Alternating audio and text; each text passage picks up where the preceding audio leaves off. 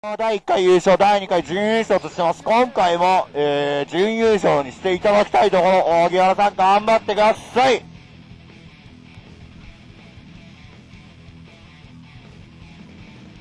さあ、小川が、いつものように、精神統一をしていく。さあ、10残りカード14秒で、キャラ選ぶ。これはなかなか珍しいですね。精神統一、いつもはもっとするんですが。さあ、これ、荻原さんが勝つと、ソルがかなり混戦しますね。このソルのポイントがかなり混戦しますね。さあ、これは本当に頑張っていただきたいところ。さあ、小川、しっかり、分子を消しているため、もう復活している。もう武士いるよ、武士いるよ。さあ、爆出しかかってしまう。これは厳しいか。投げ。しかし、エリーゲージはない。俺と張れば逃げられる。しかし、ダメージを取られていくのはソウル。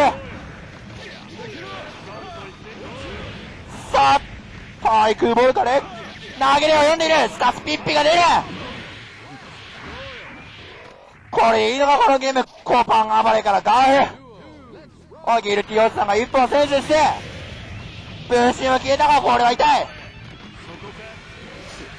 さあやはりソウルで AD は厳しいかさあ小川が珍しく大漏らしをしてしまう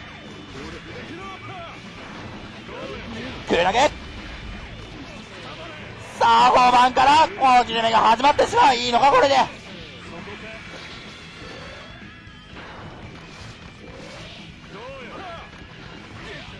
さあ、しかしまだわからない。エディゲージは残っている。伸びる当たって。さあ、これはかなりいやらしい。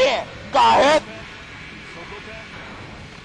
さあ、残り体力取った。ジャンプゲーが引っかかってしまい、ギルティホルさん、優勝です。おめでとうございます。